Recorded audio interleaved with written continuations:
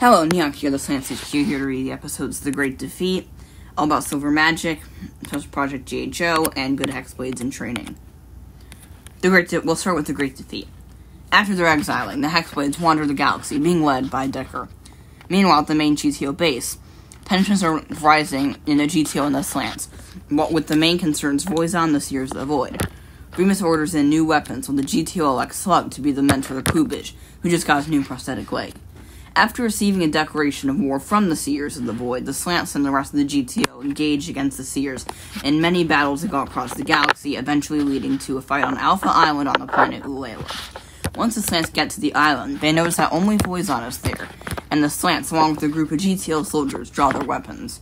Voizon does a small signal, and many Void soldiers who are injected with black magic to make them stronger, along with many high grade mechs, come out of the bushes. A battle begins, and Remus feels something inside him, and his eyes glow silver. Then he uses spells from different types of chromatic magic in a silver color against the Seers of the Void, which is odd because Remus should be magically mundane. After some fighting, Remus creates a quantum beam and he directs it at Voizon, who gets hit by it.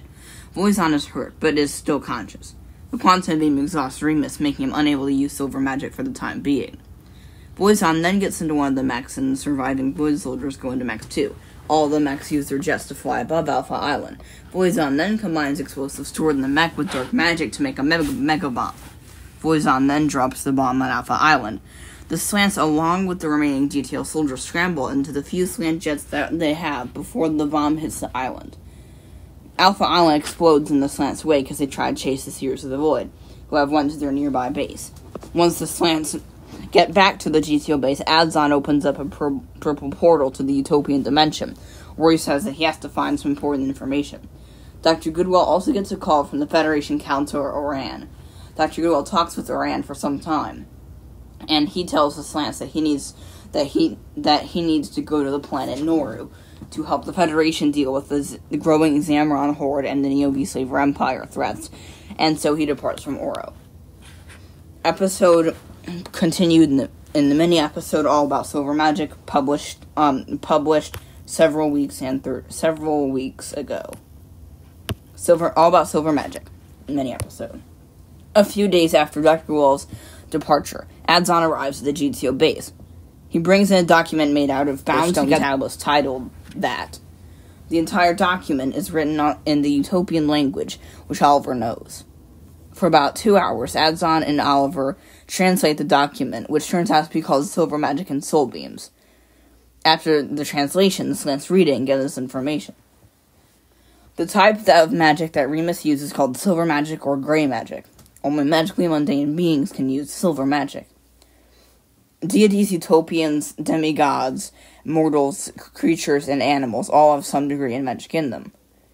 Users of silver magic can cast spells from all types of chromatic magic, including white, black, and quantum magic.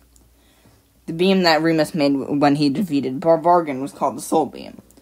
Soul beams kill the mortals, deities, and other beings that use them, but but a but demigods survive their use and become magically mundane mortals.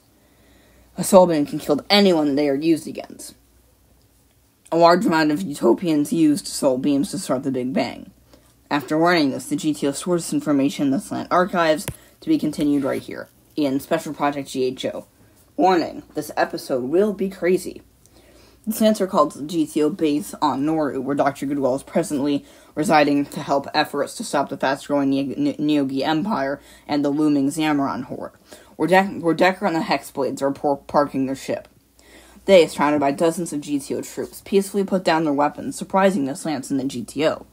Decker brings up matters of a diplomatic deal, and he and his Hexblades are brought inside, where Decker discusses the GTO and the Hexblades joining forces. Goodwell's reluctant at first, but he is, he is drawn in when he realizes that their common enemy, Voizon, the annoying Qual guy, is growing in power and must be taken out despite all costs. He then instructs all the Hexblades and GTO agents to close their eyes, which they do, excluding Remus, who barely squints. As Goodwell takes the Superlock key out of Book of Law number 22, blasts a quantum silver beam into it, and unlocks a lock behind a bookcase, opening a wall, opening up a wall. The o- the open wall leads to the Black Room, a known spot where secret meetings are held. Then Dr. Goodwell get, gets back on the intercom and announces that everyone can open their eyes now. But then Goodwell communicates to Remus through Remus's earpiece and instructs Slug and Remus to do the same thing that Decker and Goodwill did. Slug and Remus, after getting into the Black Room, go down go down a staircase, unlock the space under that staircase with the same key. Go down yet another, open up one of those stairs, and crawl into what seems like an abandoned GTO base. Almost an exact replica of the base upstairs. Almost as if the base upstairs was built on top of this base. Remus and Slug go into the room where Decker and Goodwill are meeting.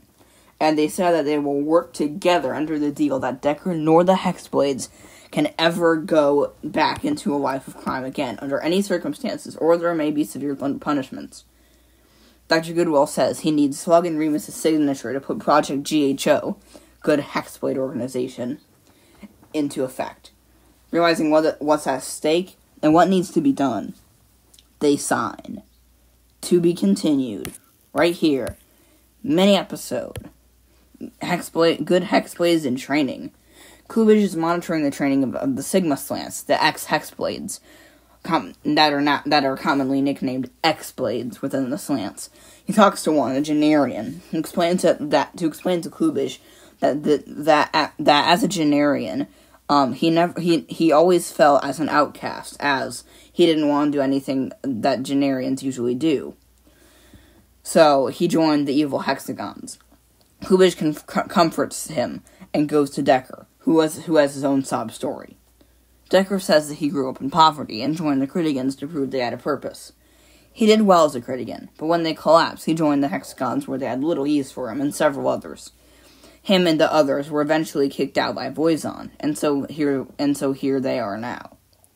Klubich comforts Decker and convinces Decker that he has some good in him, and goes back to supervising the Sigma Slants. And that was the episode of The Great Defeat, all about silver magic, special part of GHO, and good hexblades in training. And after the and after this, the next the next three episodes will be Return to Corholia and Takeover Part. And the next four episodes will be Return to Corholia, Takeover Part One, presumably Takeover Part Two, and another upcoming episode after that. And after and after those and after all those episodes there will not be another episode until June 22nd. June 22nd, 2021, second anniversary of the final battle against John Diaz.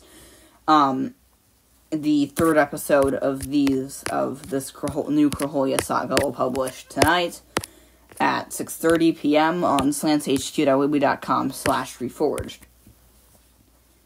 Well, this is Neok here. Um, I have read the episodes Great Defeat, all about silver magic, GHO, and good hexblades in training. Have a nice day.